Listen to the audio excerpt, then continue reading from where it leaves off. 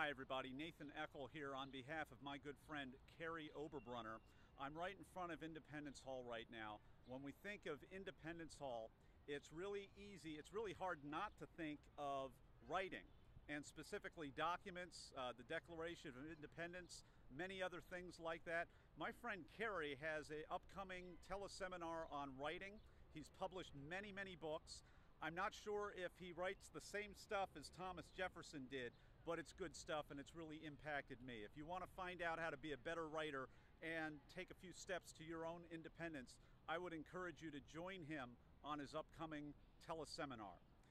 Go to karyoberbrunner.com for the details, and I'm just a, a fan, Nathan Eckel, just encouraging you to do that right here, live at Independence Hall.